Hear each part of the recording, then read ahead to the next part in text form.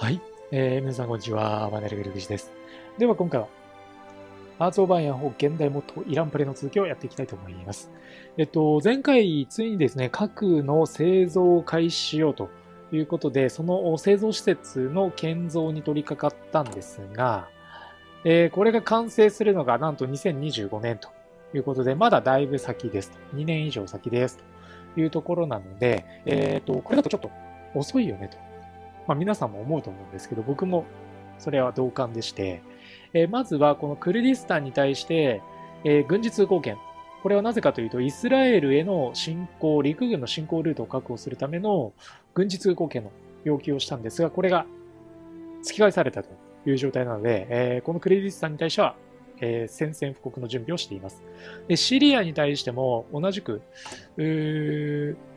軍事通行権の要求をしたんですが、まあ、おそらく無視されるでしょうというのがあるので、アレッポ、ここの攻略を口実に、シリアを巻き込んで、イスラエルへの進軍ルートを確保していきましょう。あ、そうだね。シリア、軍事通行権を拒否してきましたね。まあ、予定通りというか、想定通りではあります。で、どうだろう、第三革命防衛隊ももうすぐ10師団に届こうかという数揃ってはきているので、これもね、戦線に投入して、一気にクルディスタン、シリアと飲み込んでいきましょう。で、イラクに対しては、それこそできればね、同じ、我々の参加に入ってもらいたいなという気はするんですが、まあ、これが果たしてそのようになるかというとね、ちょっとわからないので、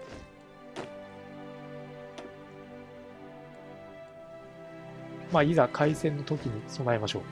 で、陸軍の数だいぶ揃ってきたので、ここでですね、徴兵していく陸軍の師団数をちょっと減らしていきます。このままいくと人的資源がやばいことにはなっていくので、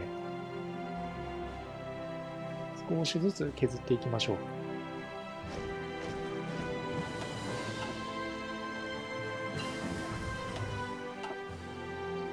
これで3師団ぐらいずつね、え並行に入れ続けるという状態で、しばらく師団の増強に関しては抑制をかけていきたいと思います。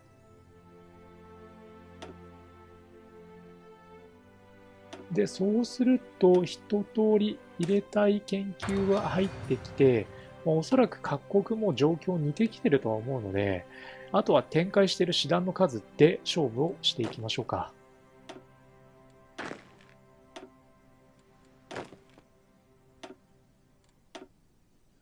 それなりに数は有利な状況にはなってるとは思うので。で、資源の特化が終わったので国家方針ですね。国家方針はアルミを獲得するために下へ下へと下がっていきます。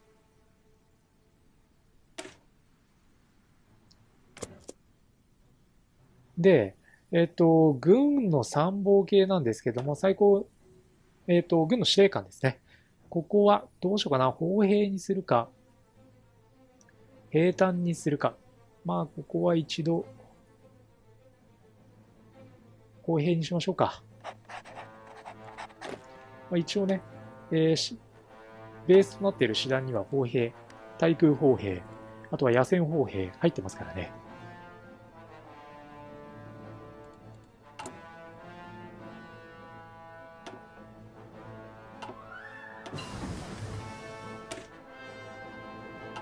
続々と進んでいっています。戦争が始まろうとしていると。こういう、まさにそういう状況ですね。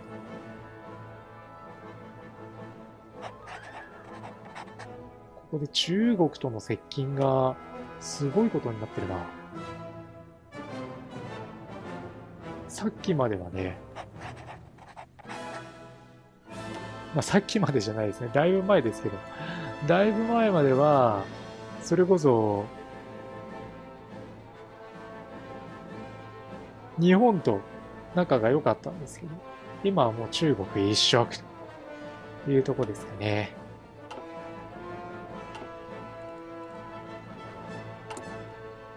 さあ、クルディスタンへの宣戦布告。これが終わるのが、あと、約1ヶ月後。2023年の6月4日。ここが宣戦布告日になるでしょう。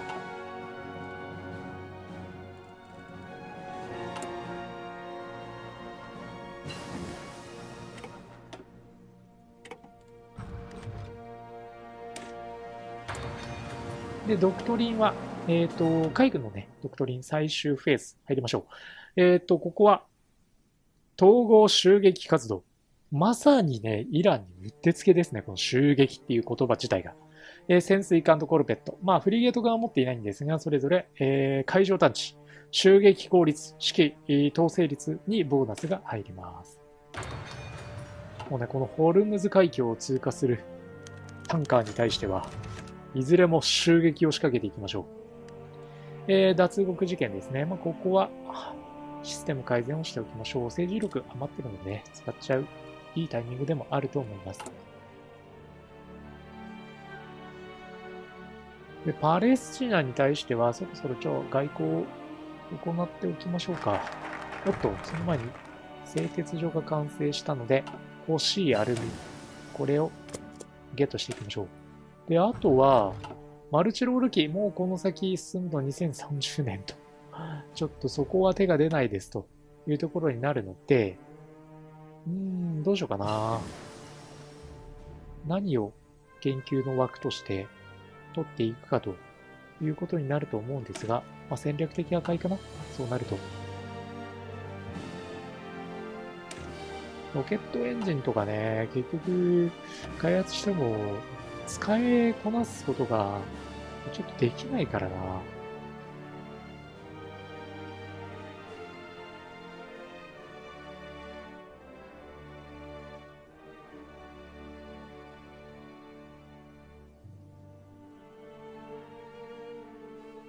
そうですよね。まあ、じゃあ無難に、レーダー基地でもアンロックだけしておきましょうか。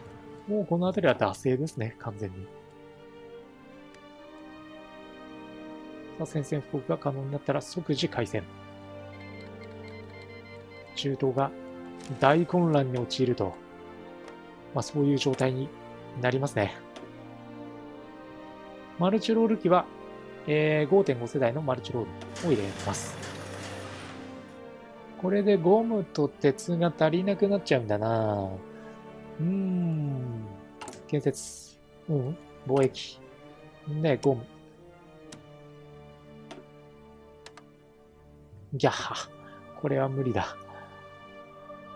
核を製造を止めてまでやりたくない。我慢しましょう。この状況。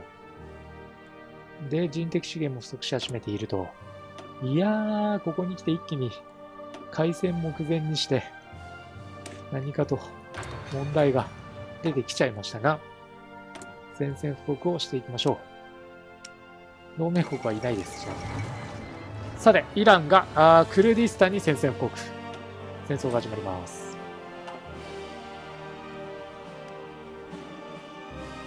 一気にね、飲み込んでいきましょう。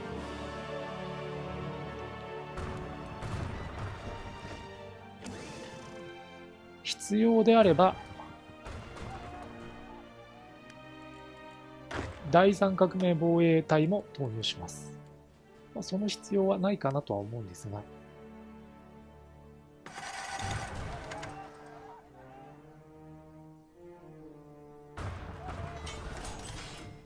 さあ、順調に推移はしてますね。そうか、占領していって活情させれば、民事工場、軍事工場、それぞれ増えるね。よく考えれば。クルディスタンは我がものとできそうだ。戦争が終わる。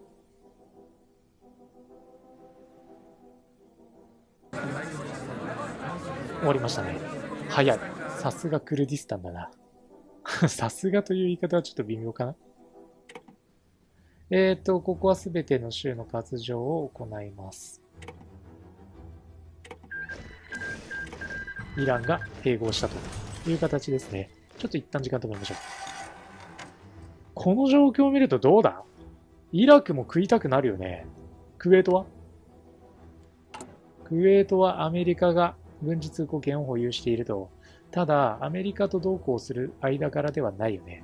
アラブは陣営に属している。オマーン、サウジ、この辺りは陣営。イラク、ヨルダン、シリア。ああ。ヨルダンは？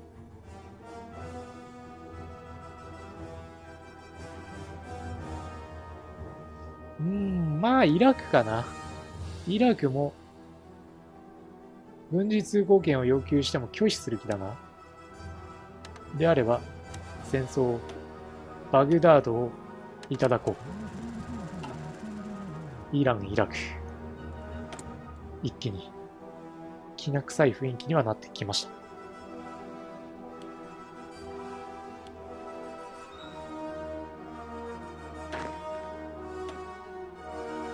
さあ、では続いて軍を展開していきます。この後は、まあ、想定しているところではシリアが先に宣戦布告できる状態になると思うんで、シリアに対して一気に攻撃を仕掛けていきましょう。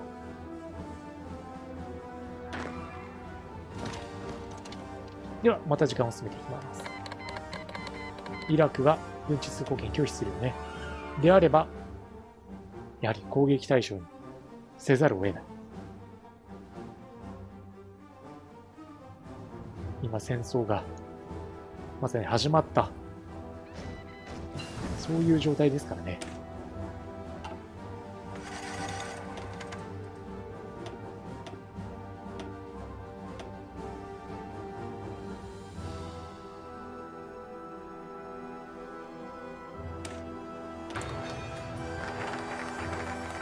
アルミニウムが取れるようになったと。レアメタルも取れればだいぶ変わらない。ちょっと一旦時間を止めて、えー、確認をしていきましょう。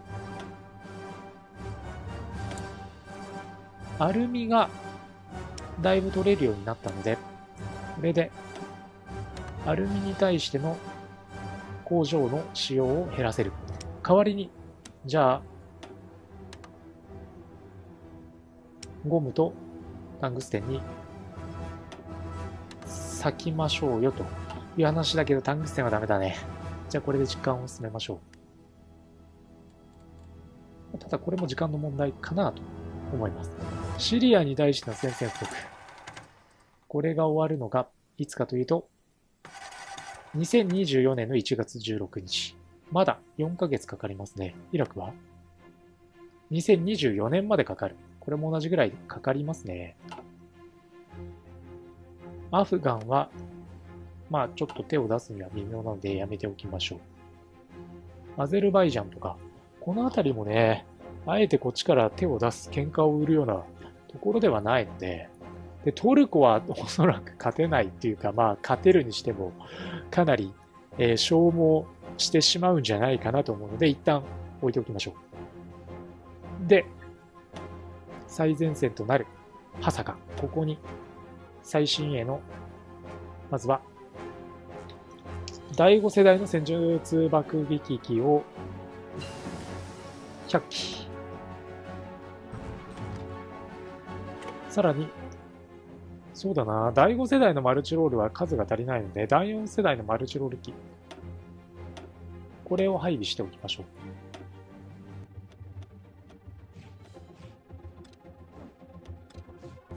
で、研究の枠、何を使うかだな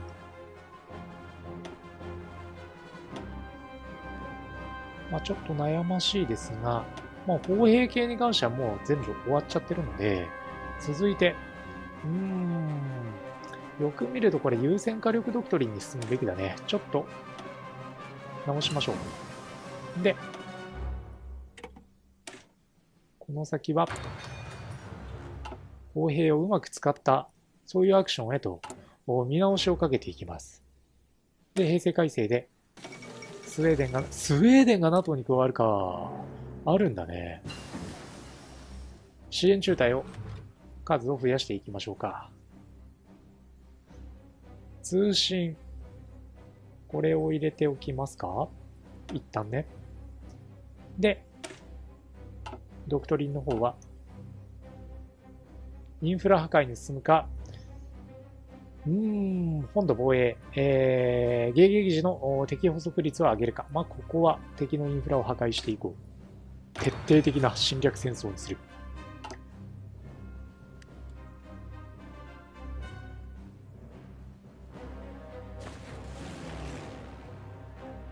で、せっかくのね、空軍の基地なんで、これは有効活用していきましょう。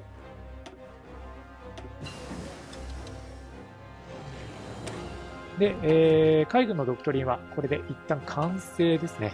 目指していた系統は最終フェーズまで入りましたというところです。じゃあ、支援中隊、えー、入れていきましょう。通信兵ですね。これは？現代型通信システム増援確率2%。これ先に入れようと思ったらもう入ってる。だったら、やっぱり通信入れましょう。通信兵ですね。国家方針が、レアメタルが完成すると、えっ、ー、と、民事工場、これが貿易に使われなくて済むので、えー、より一層核の製造が進むかなというふうに思います。一旦じゃあ貿易画面に移って、まずはゴム。中国から輸入しているゴムの数を調整。タングステンも調整。OK だ。これで、建造速度がさらに上がる。おー、2026年。ちょっと伸びてるね。まあ、しょうがないね。まあ、これは一旦こういうものとして我慢。出た。国家方針。まあ、さらにゴム欲しいよね。ゴム。まあ、石油はいらないけど、ゴムが欲しいので、ゴムに向けて先に進みましょう。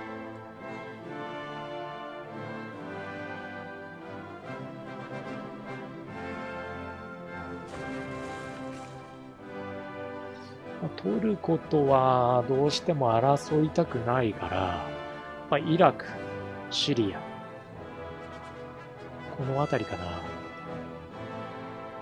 トルクメニスタン、ちょっとあまり詳しくない中東事情ではあるものの、この辺りにも戦争をぶっ込みに行きますか。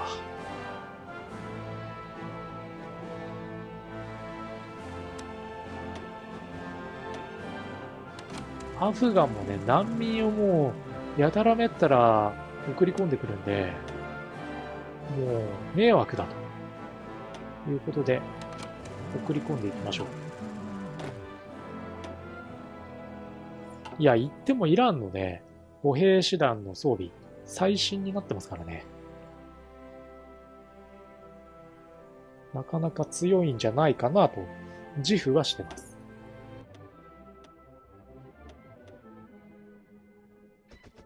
クルディスタンにも、そうだな、第5世代の戦術爆撃機。これを配備しておく。イラクに対して攻撃を即時開始できるようにしておきましょう。で、偵察兵の2が完了したので、えー、続いて偵察兵の3を入れておきます。で、さらに言うと、第三革命防衛隊は、来たるべき、トルメクニスタンと、めっちゃ言えてないですね。戦いに備えて、師団を展開していきましょう。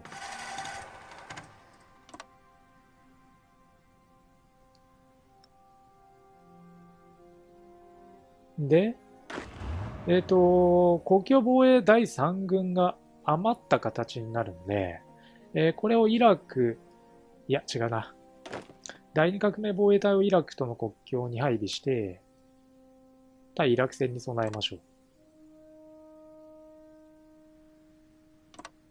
で、余っている形の第三国境防衛隊はこのまま待機させます。では、ちょっとまた時間の進みを早くしていきます。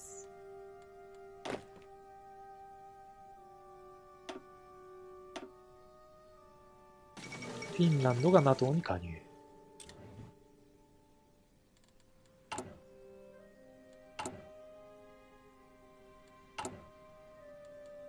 合成石油ができて合成ゴムができれば、まあ、さらに、えー、民間工場を核の製造に回せるので、核の製造が早くできる。イスラエルをこの地上から消し去るためにはやっぱり核の使用が前提になりますからね。アメリカ軍が駐留しているのかな？ちょっとそのあたりも気になるよな。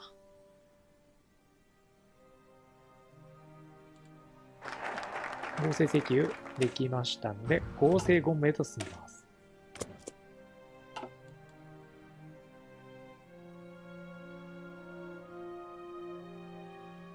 軽戦車、主力戦闘車、この辺りの製造のラインが欲しいという話だな。まあ、さっき消耗しましたからね。となると、生産のラインを調整していきましょう。えっ、と、主力戦闘車と軽戦車だったね。まずは、軽戦車。あとは、ごめんね。ちょっと確認します。主力戦闘戦車。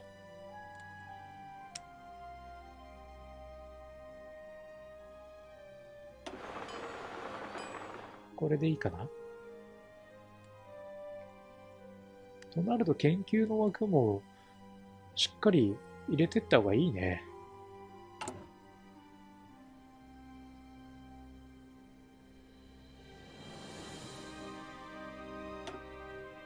軽戦車は軽戦車で、先へ先へと進めていく必要がありそうだな。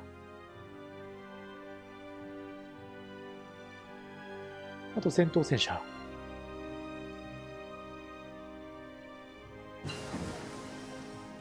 じゃあ、せっかくなんで、入れていきましょう。まず軽戦車だね。で、もう一つ、主力戦闘戦車。ちょっとこれを確認すると、第3世代の T72Z ですね。第3世代の主力戦車 T72Z。これの後継として、え何を研究していくかっていうと、ここだね。次はゾルファガール1。これになりますか。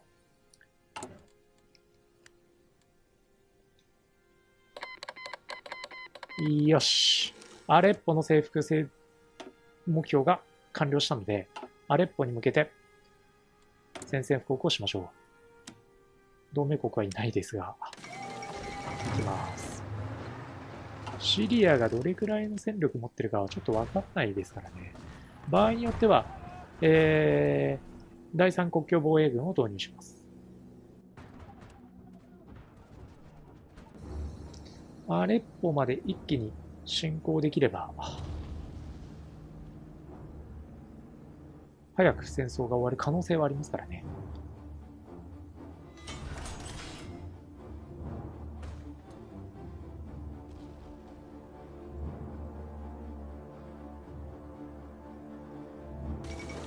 ボスニア・ヘルツェゴビナが NATO に加わる。まあ、NATO、つまりアメリカ陣営が強化されている様子は、面白くはないですが、しょうがない。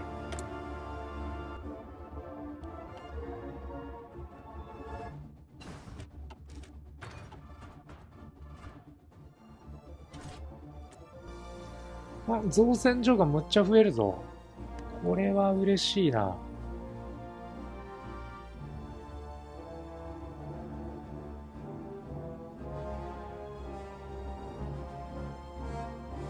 ただその造船所を生かすだけのパワーがないね。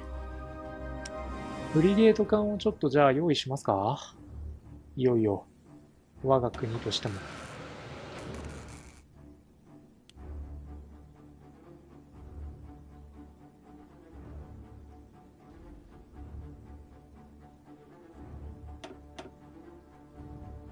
で、鉄が足りないと言われるね。うーん、合成の製鉄所だけでは足りないとなると、鉄を輸入しなきゃいけないんだな、中国から。アメリカからは鉄はもう輸入しない。敵国ですからね。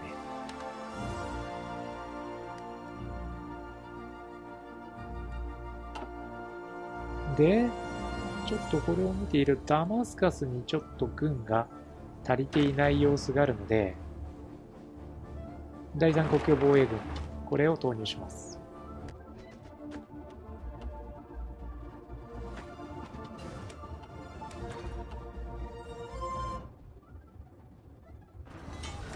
よし。では、シリアをすべて割譲させましょう。